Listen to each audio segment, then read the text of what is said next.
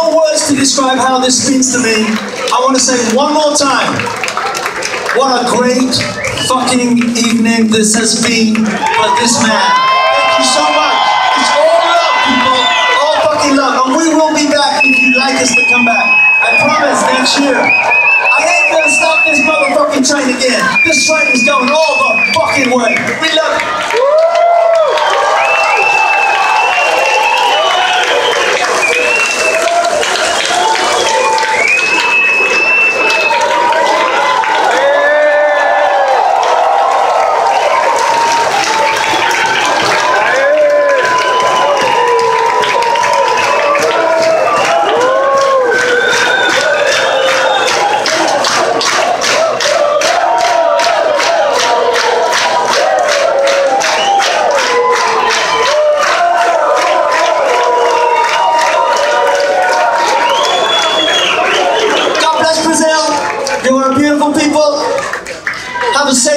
Home.